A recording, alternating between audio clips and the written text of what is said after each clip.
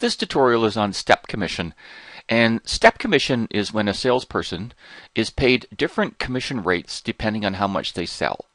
Usually, a higher level of sales provides the salesman with a higher rate of commission. Step commission will often be a salary plus commission earnings plan. The entire reason for step commission is to encourage salespeople to sell more product. Uh, generally, the more they sell, the higher the higher their commission earnings will become. And we'll take a look at one example on the second page here. Uh, Brody works as a salesman for a large clothing chain. He has a base monthly salary of $2,000, so he makes $2,000 regardless of how much he sells. And he earns a 4% commission on the first $15,000 of sales and 7% for all sales over $15,000. And it says complete the table below to determine Brody's earnings for January, February, and March for three months. So the base salary we put in here is $2,000 for each of the months.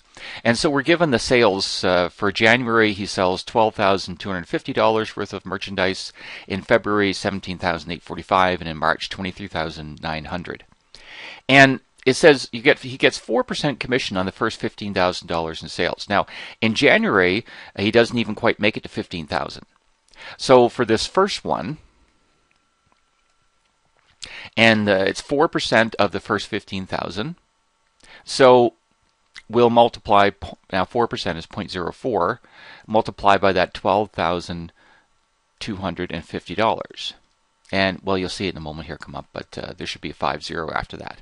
So $490 would be his commission for that month. He doesn't have any sales over 15000 because he only sold 12,250.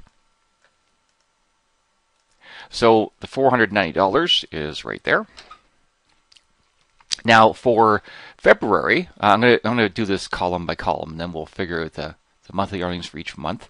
So in February, he sold 17,845. So if we take 17,845, whoops, 5, and subtract 15,000,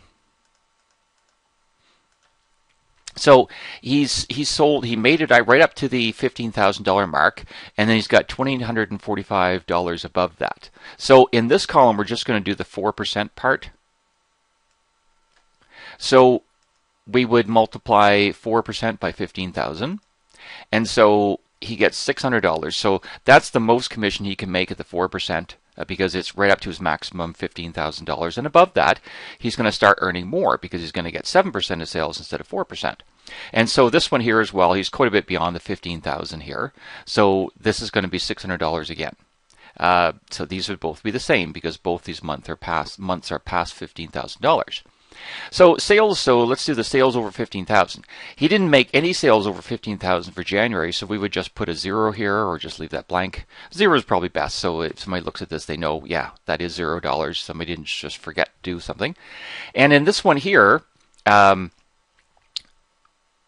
so we, like I did in the calculator a moment ago, we subtract 17,845 from, uh, from that 15,000.